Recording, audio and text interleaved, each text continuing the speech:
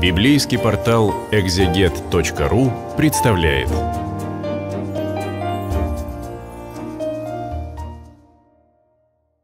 Десятая глава четвертой книги «Царей» или «Царств» для библейского портала «Экзегет», читаю свой перевод, с небольшими комментариями. Ну вот в девятой у нас про восстание или мятеж или переворот Еху, который э, получает, во-первых, помазание э, через младшего пророка, но вообще-то Елисей отправляет этого младшего пророка, и Господь избирает Еху, военачальника тогдашнего царя израильского Юрама, для того, чтобы пресечь династию Ахава, династию, которая знаменита своим язычеством. И Еху очень жестоко расправляется эм, не только с, со своим господином, э, бывшим царем Юрамом, которого он убивает, но и с э, его матерью царицы Изавель, а э, текст еще и еще раз подчеркивает, что все это было в исполнении давнего пророчества, там, где царица Езавель отобрала земельный участок у простого человека Навота, и его побили камнями, лишь бы этот участок ей достался там, псы сожрали и тело самой Изавель. Грубо, но очень зримо, да, то есть э, правитель не имеет права притеснять или тем более убивать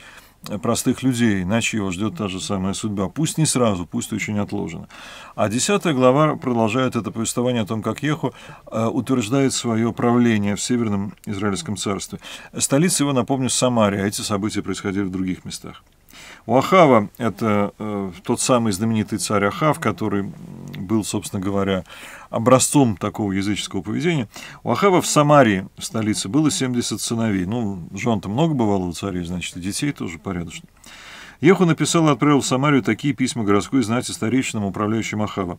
«Как только дойдет до вас это письмо, а при вас сыновья вашего господина, при вас колесницы и кони, городские укрепления, оружие, выберите самого лучшего и достойного из сыновей вашего господина, посадите его на престол его отца и сражайтесь за дом вашего господина». Ну, то есть, начинаем гражданскую войну, да, вот кто у вас там будет главный, я иду на вас.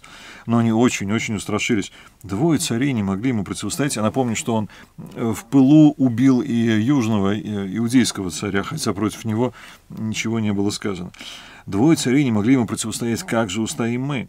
Тогда тот, кто распоряжался во дворце, и тот, кто правил в городе со старейшинами и управляющими Ахава, ответили, «Мы твои слуги, и все, что скажешь нам, исполним, никого не поставим мы в цари, а ты поступай, как сочтешь верным». То есть они признают власть Еху после этого ультиматума.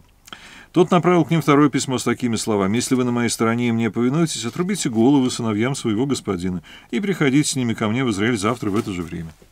Вот э, он очень конкретно понимает уничтожение династии Ахава. Царских сыновей было 70 человек, их воспитывали лучшие люди города. Когда пришло к ним это письмо, они схватили царских сыновей, зарезали всех 70 их, отрубленные головы сложили в корзины и отправили к Еху в Израиль. К нему явился гонец и сообщил, тебе принесли головы царских сыновей. Он ответил, сложите их две груды у городских ворот, пусть лежат до утра. Вот, э, я не знаю, мне с одной стороны, конечно, очень хочется сказать, какой Еху жестокий, с другой стороны, а были ли вот тогда примеры другого подхода к этим вещам? Вот уничтожение династии понималось буквально как физическое уничтожение всех, кто мог бы объявить себя в дальнейшем потомком и наследником Ахава. Поутру он вышел из дома, встал возле голов и объявил всему народу. «Нет здесь вашей вины, это я составил заговор против своего господина и убил его. Но кто же перебил всех этих? Знаете, что не пропадет впустую ни одно слово Господне, что предрек Господь дома Ахава, то и совершил Господь по слову, переданному через его слугу Илию. Еху перебил всех, кто остался от дома Ахава в Израиле, и его знать, его приближенных, его священников, не пощадив ни единого человека. И вот этот вопрос, но кто же перебил всех этих? На него можно ответить тремя способами. Можно сказать, Еху ты и перебил, потому что ты же приказал. Понятно, что не все царь делает своими руками.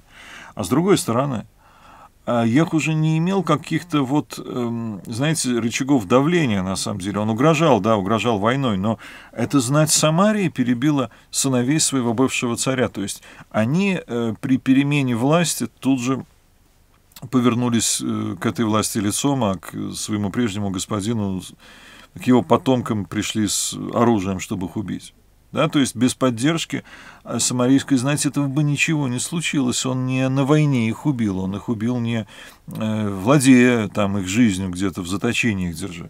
А с третьей стороны это исполнение пророчества, то есть можно сказать, что Господь убил, как и обещал. Что это уничтожение. Вот как мы смотрим на историю. Да? И э, эти ветхозаветные кровавости во многом объясняются в зависимости от того, как мы отвечаем на вопрос, кто их всех убил. Некий человек, который приказал, Господь по пророчеству, или народ, который вот так вот захотел служить новой власти, что периодически бывает. Затем Еху отправился в Самарию. По дороге он проходил мимо пастбищ Бейта Кеда и встретил там братьев Ахазии, царя Иудейского, которого он убил, я напомню, в прошлой главе. Он спросил их, кто вы? Они ответили, мы, братья Ахази, идем справиться о благополучии сыновей царя и сыновей царицы матери. Соответственно, они еще ничего не знают об этом перевороте и э, приходят династию Ахава почтить. Он велел схватить их врасплох, их схватили и зарезали, побросав тела в водосборник Бейта Кеда. Их было 42 человека, и никого не пощадил Еху. Терминатор. Вот такой терминатор от имени Господа. И вот еще раз, еще раз говорю, все-таки он очень многое от себя добавляет. Еще дальше встретил он Еханадава, сына Рехава. Он поприветствовал его и спросил, «Предано ли мне твое сердце, как мое сердце предано тебе?» Еханадав отвечал, «Да». «Если да, дай руку». Тот протянул руку, и Еху поднял его к себе на колесницу со словами, «Езжай со мной, и видишь мою ревность за Господа». И повезли его в той же колеснице, вот так он вербует себе сторонников, соответственно.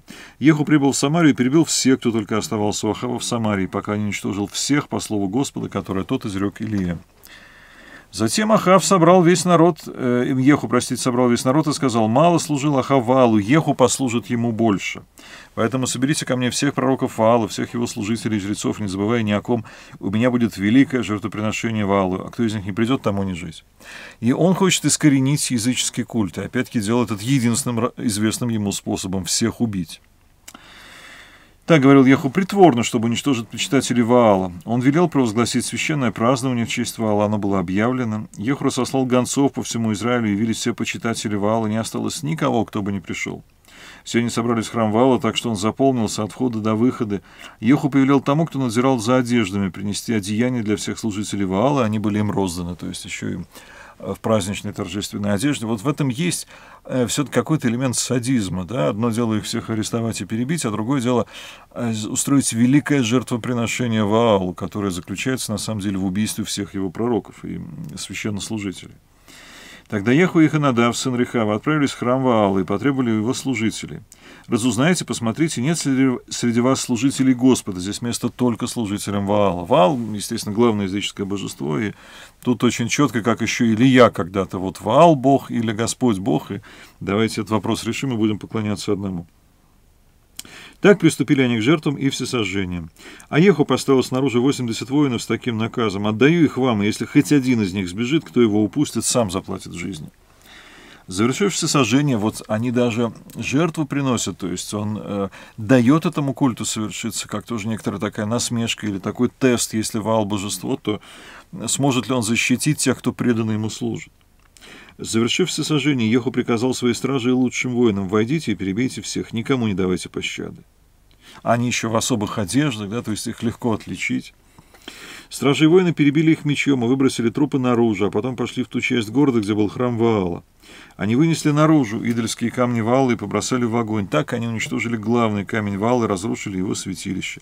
Вместо него строили там отхожее место, оно остается по сей день. Так Еху расправился с Ваалом в Израиле.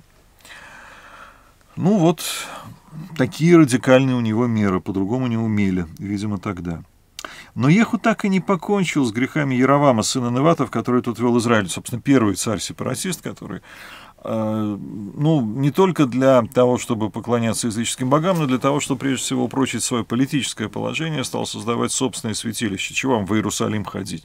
У нас все свое, у нас отдельное государство не покончил с грехами Иеравама, сына Неватов, который тот вел Израиль, с золотыми тельцами, что в Бейтеле и в Дане, это север и юг его царства, то есть такие пограничные святилища, которые отмечают, откуда и докуда его власть. Господь сказал Еху, ты поступил правильно и сделал, что мне было угодно, ты исполнил мой замысел о доме Ахава. За это потомки твои до четвертого колена будут сидеть на престоле израильском. Вот э, Господь сам подтвердил то, что сделал Еху. В Ветхом Завете они видели это так. Вот, извините, мне кажется, что здесь гораздо больше человеческого, что Божья воля состояла в том, чтобы отказаться от языческого культа, но вот мы видим по множеству эпизодов, что Еху э, иначе не справлялся с этой ситуацией, а потом как бы задним числом заодно э, говорит о том, что Богу это все угодно. Но Еху не стремился поступать по закону Господа Бога Израилева от всего сердца, и так и не покончил с грехами Яровама, в который тот вел Израиль. Еще раз повторяется это все. В те дни начал Господь отрезать части от Израиля. Хазаэл, это царь э, Дамаска, арамейский царь Дамаска, наносил израильтянам поражение по всем их пределам к востоку от Иордана, захватив весь Гелат, земли Гада, Рувима, Моносия, Тароэра, что у потомка Арнон, и Гелат, и Башан. Прочее о делах Еху, которые он совершил, о величии его записано в летописном свитке царей израильских. Еху приложился к правцам, но его похоронили в Самарии, вместо него воцарился его сын Еху Яхаз. Еху Ахаз, простите. Царствование Еху над Израилем в Самарии длилось 28 лет. Э, там, где начинается череда переворотов, их очень трудно остановить. 11 глава нам об этом еще расскажет.